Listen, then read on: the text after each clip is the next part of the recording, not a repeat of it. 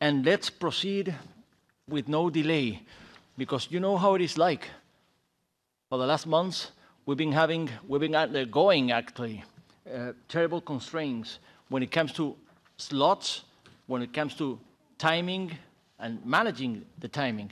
And this is the case this morning. We have a uh, relevant point in the order of the day, not the only one. There are a couple of them. There is a second point in the order of the day, which is not of minor importance, child abuse, child pornography, all of that we also have to discuss. But the first point in the order of the day is nothing less than discussing the new pact on migration and asylum. But there is two hours of a slot. It's been called this new pact on migration and asylum a fresh start. Actually, not a start from zero, because we have law, European law, in the first place. This European Parliament has adopted a migration package when the Lisbon Treaty entered into force 2019-2014, this committee was heavily involved in putting in place a migration package, a whole migration package with a series of pieces of legislation and an asylum package, also with a relevant series of pieces of legislation. But we have seen that there have been not only, not only recurrent arguments about unfairness or inequities in the responsibility share among member states, and of course also arguments about lack of solidarity and actually breaches of that legal principle, which is not a wishful thinking. Solidarity is actually a legal principle enshrined in Article 80 of the Treaty of Functioning of the European Union, thus a legal principle, a binding legal principle according to European law. That is the situation we are facing today. We're getting started with this debate. It won't be, of course, the, the, the, the, last discussion we're going to have on this fresh start. That is something sure. So this is only the beginning of this discussion, but I beg your understanding to handle the timing, because it's only two hours, and I have just read that actually our Commissioner Johansson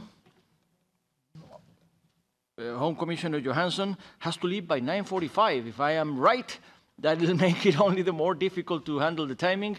Of course, Vice President Schinas will be there. We thank you for that. But the point is that we're going to have a discussion where there's going to be a round for coordinators. Please do it in two minutes.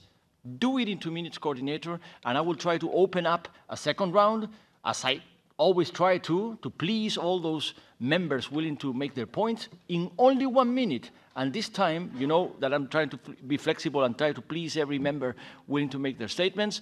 This time I am really constrained by the timing. So please, this time do refrain, because otherwise I will cut your speaking time. Okay, then just let me take it for granted that we are adopting the agenda with no objections, that you have read the chair announcements, and that we endorse the nomination of rapporteurs because there have been uh, a couple of resolutions that have been allocated.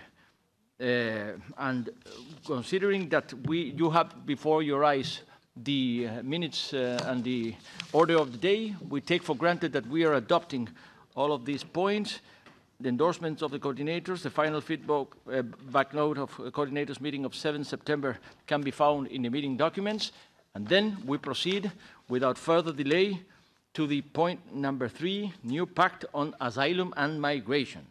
As I said, we heard from President von der Leyen in the first debate of the State of the Union she had, proposing to begin with, when, he, when she came to this European Parliament to seek for the, for the confidence of this House and to launch the new Commission, that she would propose a new pact on migration and asylum, including the relaunch of the Dublin reform, comprehensive package of legislative proposal, recommendations and communications, aiming at overcoming the deadlock in the Council regarding the European Common Asylum System, for years, protracted discussions that have been there, and designing a new European asylum and migration policy that makes a positive difference, that actually makes a difference partnership with third countries, cooperation, addressing the so-called root causes, and implementing the Global Compact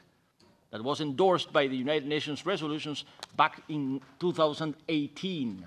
Those are the, the, the considerations to frame this situation in which we happen to relaunch this important policy making and law making that certainly will consume much of our energy and time in the next future.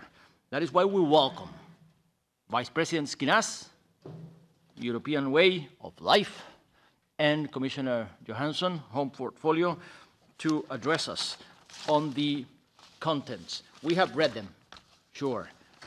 Now we are ready to try to summarize to, the, to, to, to our very best the points that we are willing to make in getting started with this work ahead.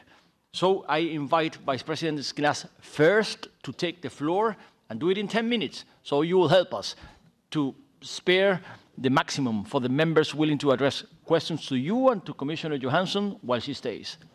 Vice President Schinas, you have the floor. Uh, uh, thank you, thank you,